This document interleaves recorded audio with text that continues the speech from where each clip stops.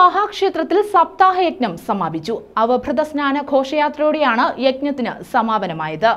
പാവുമ്പ മഹാക്ഷേത്രത്തിലാണ് സപ്താഹയജ്ഞത്തിന് സമാപനമായത്. അവഭൃത സ്നാന ഘോഷയാത്രയോടെയായിരുന്നു യജ്ഞത്തിന് സമാപനമായത്. ക്ഷേത്രത്തിൽ നിന്നും ഗജവീരന്മാരുടെ അകമ്പടിയോടെയാണ് അവഭൃതം ആറാട്ടുകടവിലെത്തിയത്.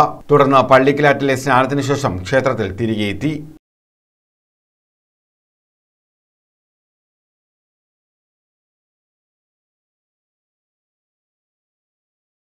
News bureau Thazhava